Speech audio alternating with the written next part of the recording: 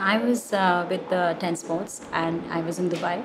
My husband was stationed in India. I was uh, with the kid. Uh, somehow we managed a year into uh, our son was shuttling between countries, India, Dubai. Every weekend he used to come, and it was just not working out.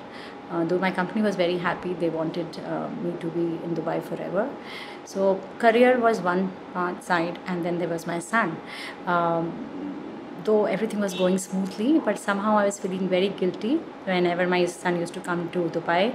And the choice between um, uh, making money and being with my son, I think it was just an easy one when I uh, thought I should quit everything. So uh, that's the time when uh, I said, okay, I'll, I'll take a sabbatical and I come back to India my kid was the happiest bacha that time year to year smile and uh, the months passed by and um, uh, that's it it's was just the choice to be with home. Career never meet.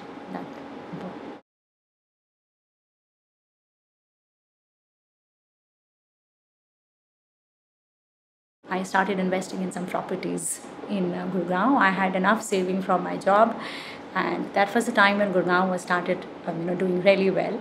When I picked up some houses, and I do get my rentals. I'm also a farmer. I have a piece of land. I do my farming there was enough that I could manage, and I was very independent, and I was still looking after my son.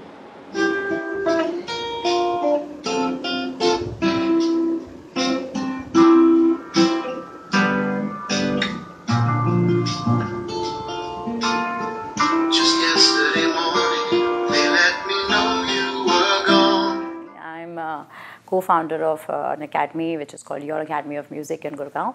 It's been, uh, you can say, uh, 19 years of my being in Gurgaon. We take uh, Western vocals, uh, guitar, bass, and drums and piano. Classes. Yeah. Classes, yeah. The classes happen, and uh, yeah, it's also a community building exercise for all the communities come together. They're encouraged to sing.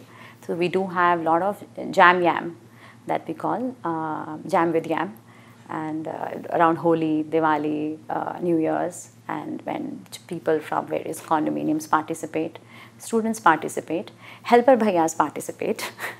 Whosoever wants to sing, come forward and be part of Jam with Yam. But for me, the, uh, I get happiness when I see the community sitting together and singing together, and it's just happy, happy time. I, I love when people are happy.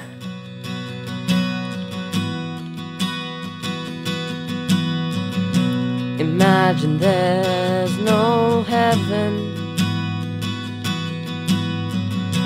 It's easy if you try. No hell below us. Above us, only sky. Imagine all the people living for today. You may say I'm a dreamer, but I'm not the only one. Um, used to find my mother as a role model that with the job she was working with the, that time with Indian Airlines with the job she was also looking after us. And somehow I felt I want to pass on the same to my son. It was uh, then when I started um, uh, you know uh, taking him to mandirs and wherever possible so that he has the humanity part in him and something that had nurtured me as a person and I wanted to teach him the values so that he has the similar amount of uh, you know uh, passion, compassion for others is the time when we, I started uh, uh, going to different places in Bastis with my kid. And many of my friends started joining me uh, while we were doing all this. And that's when uh, Pure Hearts as a family came together, that we help someone selflessly, use our strengths, and make our own life meaningful. And in the process, also pass on values to our children.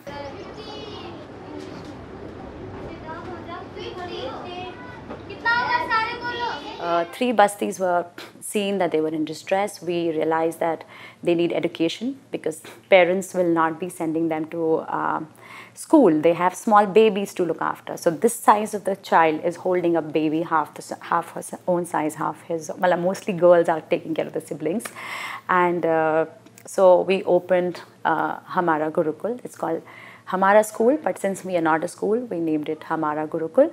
And everywhere, wherever we find distress in a basti and kids don't know what to do, we uh, teachers are hired and we have a chatai, pen, books coming, and the children are made to study. And uh, now we have 450 kids.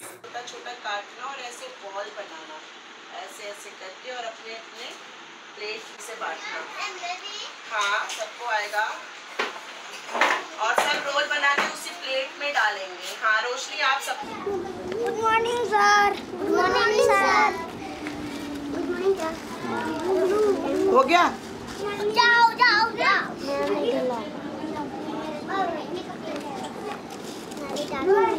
Pure Hearts for me is a feeling. It's um, not an organization. It is just a pure feeling of being for someone else, uh, selflessly. Maybe that's why the, the name came Pure Hearts. And it was not me who kept this name. It was kept by the children. And it's just a magical journey for all of us. We love it all completely. Pure Hearts, I started off and I went to these orphanages with Shalu Auntie and that was an amazing experience talking with the kids and being there, being present. So I wanted to um, help out in one of these centers and engaging with the kids. The entire experience was awesome and I really enjoyed it. So that motivated me to work further with In fact, 2014 October, Diwali time, is the time when uh, gifts of happiness uh, Pure Heart started uh, reaching out to lives. And then the journey never stopped. The kids wanted to achieve more and more because uh, we could see that inner calling in them that they were happy to see others happy as well.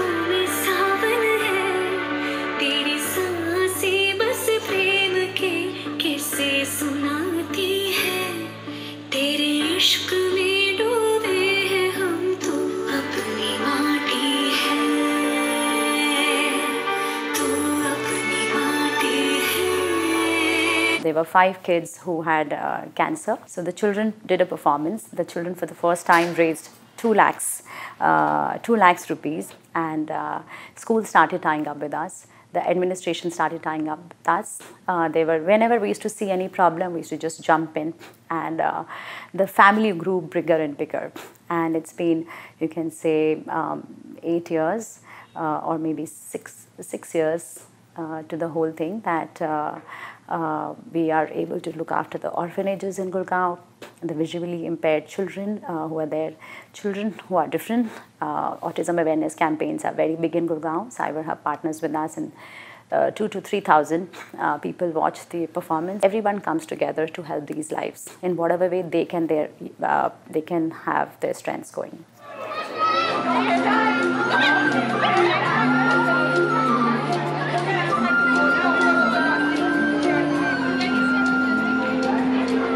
Whenever there is a kid has a thought whether to look after the environment or senior care or whatever they dis- we have a whatsapp group. The child discusses the feel on the group and the whole family starts following that child and that thought.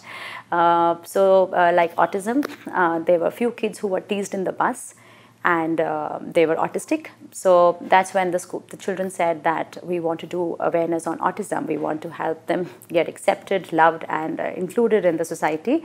Is the time uh, 2016 or 7, 17 we started awareness campaigns in Gurgaon. If every April uh, is the month of autism awareness, is when the whole Gurgaon the schools participate the kids who are autistic differently able visually they come and perform.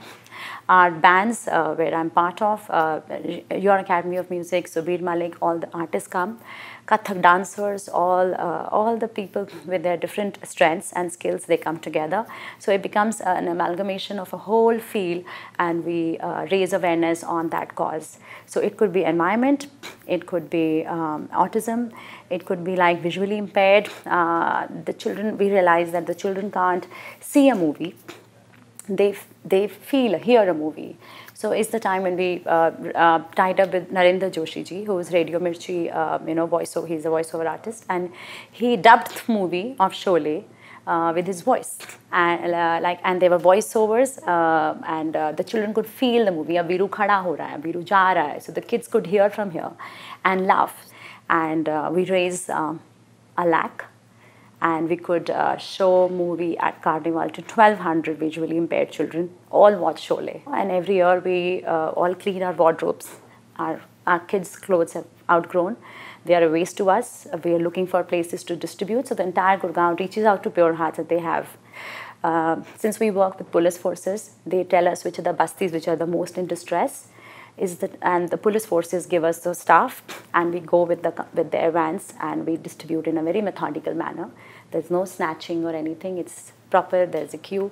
In whatever way the administration can help you they'll try and help you. Environmental causes if you want some support from the counselor he'll be there to look after. Even basti schools if you want uh, a particular shed to be made and they will give you that time to and allow you and support you. Yes they're very positive. We are doing uh, uh, a lot of work on menstrual cups because we do feel for the cause for the country so that is sustainable menstruation.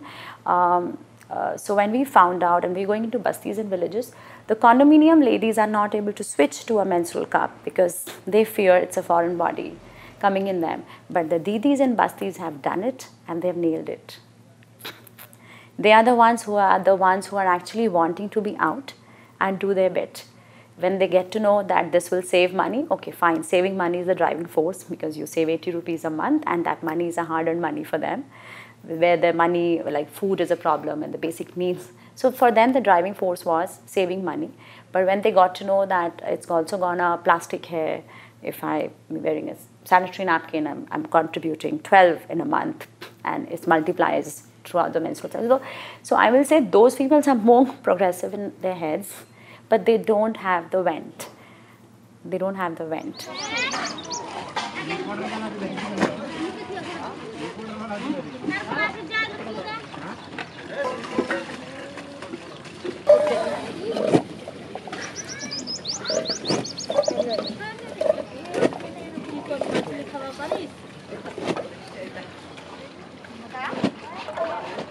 uh, when Isha Foundation reached out to us that there is a, a global uh, soil movement happening.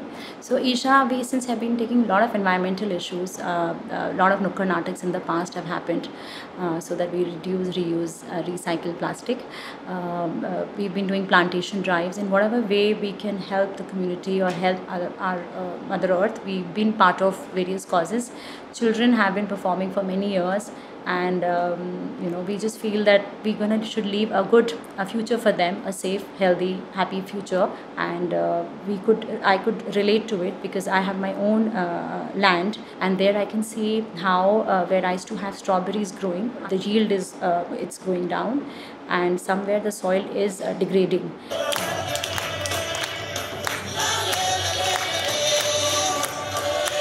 The magic of soil.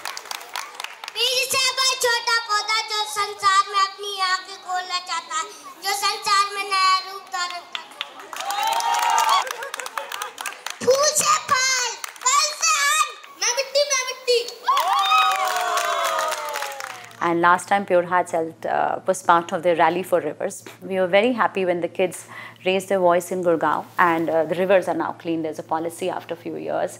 So we do feel when you uh, start talking about it, things, the change happens. So now we are at soil because we realize what Orange used to do many years back with one orange. क्या आपको नहीं पता किसी को भी नहीं पता आज से 50 साल पहले जितना विटामिन सी एक संतरा में था वो आज आठ संतरे में है। इसलिए हम सबको पोषण ही नहीं मिलता और हमको विटामिन सी की गोलियाँ खाने पड़ते हैं। ऐसा इसलिए क्योंकि हमारी मिट्टी में जो न्यूट्रिएंट्स और ऑर्गेनिक मैटर है वे धीरे धीरे खत्म हो रहा है।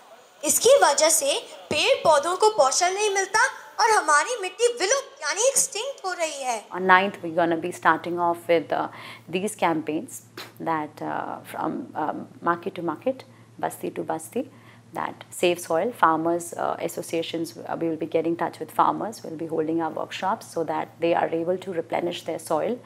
Uh, we'll be tying up with Kendri- Kendriya Sainik uh, Vigyan Kendra, uh, and they will be teaching the farmers how to, you know, the pyrite, gypsum, whatever the, the, the soil needs, whether composting. So there are many environmentalists in uh, Gurugram. There are many, Samira Satija, who is a very renowned environmentalist. She'll be coming teaching how to do garden composting. So it's uh, music uh, uh, through dance, through the drama, the Nukkad Natak with the Pure Heart children. The Basti kids will be talking about soil, beej, how our body is part of soil only, in a way. Uh, will be coming together and doing the needful.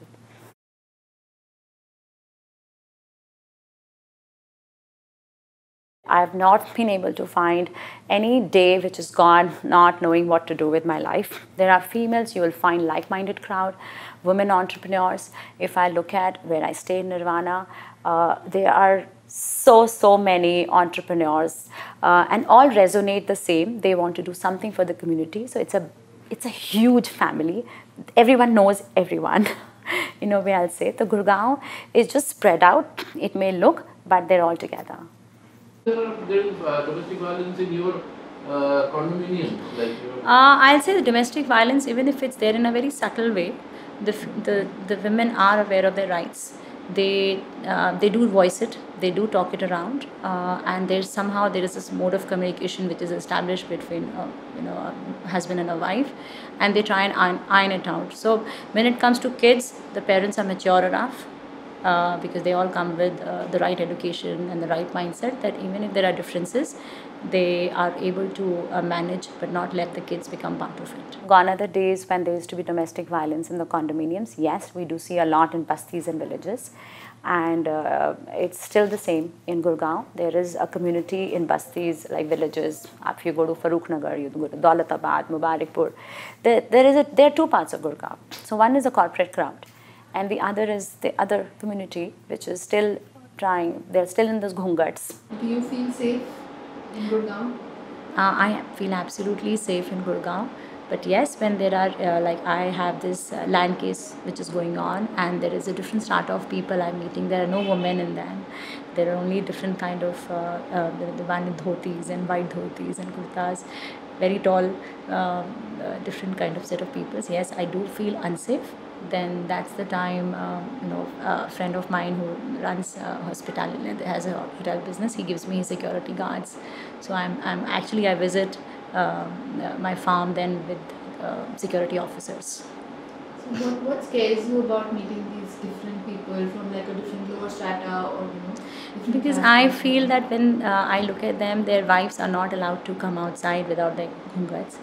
Even when there was a sale and purchase of land going on, I see uh, the person who owned the land was a lady, and her husband just got her in the car. She was just inside the vehicle. She was not allowed to step out without a ghungat, and that's when she signed the papers and she went back home. She was not allowed to even come outside when there were other men standing at the tehsil office.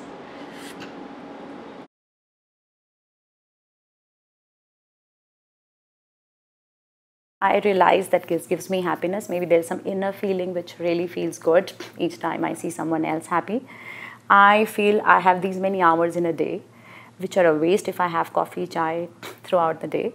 So I try and do justice to my own life. And I think the same spirit now is adding up in other people, and we're able to reflect on our life needs all our skills. There are many lives who need this time from us, and we have the strength, but we're not using it.